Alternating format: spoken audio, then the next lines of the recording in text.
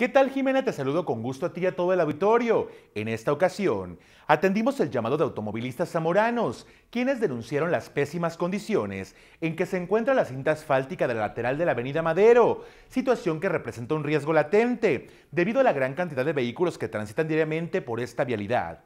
Aseguran que consecutivamente se registran ponchaduras de llantas y descomposturas de automotores, pese a que estos buscan esquivar los baches. La verdad, este, es molesto este, estar esquivando baches de, manera diaria uno que transita para ir a su trabajo. Por ejemplo, yo trabajo en Tinconada, pero pues sí es una vía de acceso que uso todos los días.